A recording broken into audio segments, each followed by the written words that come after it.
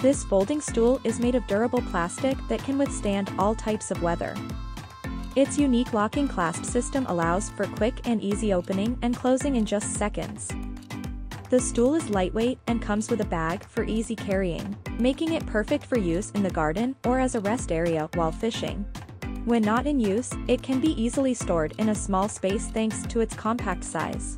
If you love storing your things in drawers, then update your drawers also so they will not make a mess of your stored items.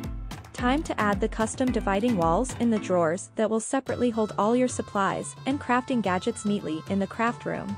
Screen repair stickers are a convenient and easy way to fix holes and tears in window screens.